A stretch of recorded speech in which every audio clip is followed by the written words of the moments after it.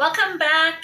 Thank you again for joining me on your Friday evening for my open house for Epicure's new fall 2020, I guess it's fall winter 2024 catalog. Super excited. We just did the Mexican street corn dip, and I will say that my husband and I were gobbling it all up in between. It's delicious. I do I do think I put in about two and a bit cups of maybe two and a half cups of corn I actually like it with a little bit more corn. So it's really filling and we'd used like crackers with it, like those gluten-free crackers that you can get from Costco. So not that I'm gluten-free, but I have lots of gluten-free products in my house for my open house. So welcome back. We are going to talk Cincinnati chili. This one's a bit of a different one. So when I saw this one in my Epic box, truthfully, I hadn't tried it yet.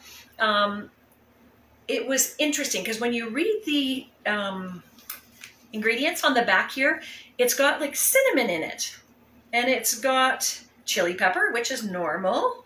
It's got apple cider vinegar, cocoa powder, and it's got spices in my, oh, it's got allspice in here.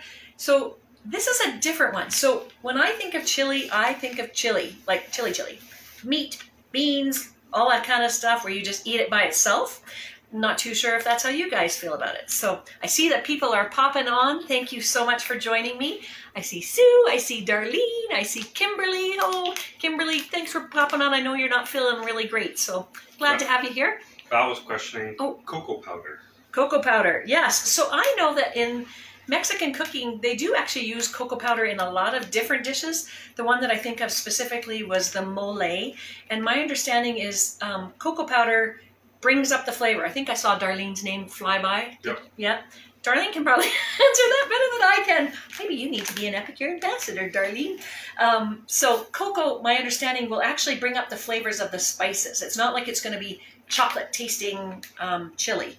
So, but it is definitely a different. It's sort of like a sweet, um, um, different spices, sort of like baking kind of spices, but with chili spices as well and it's not sort of a eat with a soup and spoon and just eat your chili. It is more like a sauce. So it's meant to be served on things like spaghetti and things like that. So this is not a 20 minute meal. However, I think you can do this in a little bit different. I was thinking about it last night. Um, so this one, according to the package, is going to simmer on my stove tonight for an hour to an hour and a half until you sort of get the thickness that you're wanting. I think you could actually make this up and throw it in a crock pot on a low and just let the crock pot do it. I might try that another time. So, but tonight I'm going to make it up just like it is on the package. Who here has tried Cincinnati chili? I'd be interested to know if it's something people have tried before. So, I haven't. I know there's some Epic Box subscribers on here. I think I did I see Patricia's name? Oh yeah, Patricia just popped on here what did she say? My sister loved this. Okay, yes, because her sister Michelle in Saskatchewan, I don't know if she's popped on here or not, but she's also an Epic Box subscriber, so she got to try this one. So often what happens in Epic Box, you get the products before anybody does. So if you like to try new things, pop on. Oh. Her sister loved it, but she didn't like it. Oh, okay. So I'd be interested to know why you didn't like it. Was it the time it took? Was it the flavor profile? Um, so this one, my understanding is you can add, like just put it on pasta, or you can add cheese to it. That's sort of, I guess, the next sort of level up when it comes to Cincinnati chili. Um, the other way they said was you add chili or cheese, then you can add onions, and then you can add beans. That's sort of like the next layers up. So I guess I'll have to find out. And if you come tomorrow, Patricia, you've already tried it. You don't have to try it, but maybe try mine and maybe it'll taste different. I'm going to actually serve it tomorrow on steamed zucchini noodles, like spiralized zucchini noodles instead of pasta, just again for a gluten-free option. So simple, simple recipe. I'm going to turn my little um, stove on here. It takes a little bit.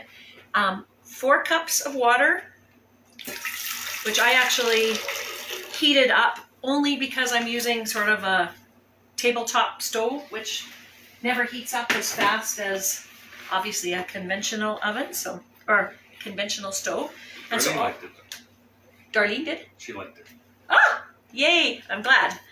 So, and I'd be interested to know, Darlene, if you put other additional type things on with your Cincinnati chili. So all we're going to add is we're going to mix the seasoning of this with four cups of water and a can of tomato paste. So I got my tomato paste here. I need a little, sorry. I need just a little thing to get in here to get it out. Bloop. So we got some tomato paste. We're going to let that mix in there. And what we're going to do is just bring this up to a boil and then you just drop it down to a simmer. So once I get this all mixed in there, I'll tell you a little bit about some other delicious products. Well, I know one of the products that I actually didn't like, but Patricia did, that came in our Epic box, which is our polenta. Maybe Patricia can say how she likes her polenta and why she liked her polenta. I know she's not a big potato eater. I'm a potato eater, so I'm just going to mix that in while that's going. And I'm going to put the seasoning in. So again, there's the picture of it. It looks, it's kind of interesting because they have it um, done with some cheese and just some red onion on there. So maybe I'll have some cheese and some red onion for tomorrow's tasting if you want to try that on there as well. So we're going to throw this in here.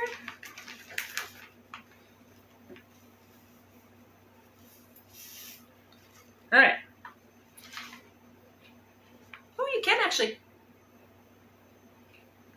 yeah, it's interesting. It has the tones of chili, and yet it's got kind of that allspice. Hmm. Interesting. So we got just basically three ingredients. So we have water, we have um, tomato paste, and we're going to put in some ground beef. And I actually confirmed this with Epicure because I I don't often put raw meat into something, but I guess that's the whole it's going to cook for an hour, hour and a half on simmer. But it says to put in two pounds of ground beef, so I'm going to just do that carefully in little pieces because they say to, oh, I guess it's all going to go in in one big block. And then I'm going to use my ground meat separator, who we all know is one of my favorites because I like ground beef. And I just cannot deal with having to try and break up ground beef all the time with those sort of mamby-pamby or like with a fork or whatever. This is just, it just breaks it right up. So they suggest breaking it up in the pot. Ooh, it does smell really delicious. I, it'll be interesting now that I've got kind of one view that says they like it one view that says they don't like it. So we'll see what the general consensus is. So we're going to get this up to a boil. And while I was doing it, I'm going to talk about the two products that I'm not demoing tonight. One is the polenta, and that one is just mixed with just basically water and milk. To show you, I see people's comments. If there's any questions, Gord will read them out and I can try and answer them. But chili. This might be an oh. interesting one too, even on like a one-pot pasta. Yes? Darlene, this is a true Italian meatball is cooked in the sauce raw. This oh, it's a technique. Perfect. See, I'm so glad you joined me, Darlene, because you've taken so many different cooking classes. So I'll just show you that all it is is the hamburger is in there with the tomato sauce and the water, and we're just going to bring that up to a boil. But the two products I'm not demoing tonight um, is the creamy polenta, which I've mentioned. Basically, you just mix it with water and milk, and this is one of those things, I, my understanding with like real polenta is it takes a lot of time and you're doing a lot of stirring not with this. And this one is done in the microwave if you want. And it's microwave for five minutes. You remove from the microwave and you add in a, bit more milk and some butter mix it up again throw it in the microwave. So it's sort of like a side dish that you would you could put gravy on it you could put a meat sauce like you could put something like the cincinnati chili on top of it. Um, be interested to know, Patricia, how you've used it, or if anybody else here is a polenta fan, how they serve it. That would be awesome if you'd share it in the comments so people can see it. Patricia so, added oh. Parmesan to hers. Oh, Parmesan. Cheese makes everything better. I really just think cheese makes everything better. Good idea. So that's the creamy polenta. That's one that's come out. And then the Swedish meatballs. So it's interesting. I was talking to my sister just about some of the products that were coming out, um, and she goes, "That makes three meatballs." So now we have our honey honey garlic meatball, which is super delicious. I do say um, don't add the amount of honey that they say if unless you like really sweet. I find it a bit on the sweeter side. We have the Italian meatballs, which um, one of another girlfriend who has like a little um, Facebook page, um, she shared that she likes to throw that in her her meatballs. So that one's a really good one. And now we have the Swedish meatballs, and this is done with pork. So you do it with ground pork. But if you're not a pork person, mix it with turkey, mix it with chicken, mix it with whatever you would like. It makes a, a meatball they say the joke that IKEA, uh, that Epicure has mentioned is it's sort of like IKEA. It's easy to make, but it takes a little bit of time to assemble. So you're going to add some breadcrumbs to it, the seasoning, um, some milk, and a little bit of soy sauce and water, and then you're going to make up basically a, a, gravy that goes with the Swedish meatballs. So supposed to be mild. Oh, I should mention, you had asked, who was it who had asked? Was it Rebecca who had asked about the hot dip the last time? The Mexican. So the Mexican oh, street. Tammy. Who? Tammy. Oh, Tammy. Sorry, Tammy.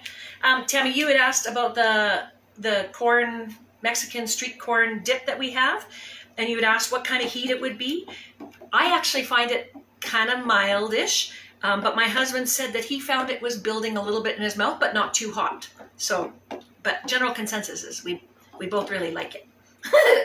so and the heat disappeared after a few bites. Oh, and he said the heat disappeared after just like a few bites. So that's another one of our returning products. So this, I don't know whether you guys want to sit on here for like an hour and a half or not, but I'm thinking not. so I'm going to call my husband back up here. It's just starting to come to a boil. And then I'm going to actually transfer it over to my oven and just let it simmer on there while I do the rest of the demonstration. So hopefully you've said hi. He's captured your name on the on the wheel. And your name will be in entered in for the Cincinnati chili. So best of luck to all of you. Thank you again for joining me. Here comes my husband. Bye. Hello everybody. Let's see who wins number two. If you won already this evening, like Sue, uh, you're not eligible to be in the draw the second time. So let's see who wins. Oh, it smells good. Yeah.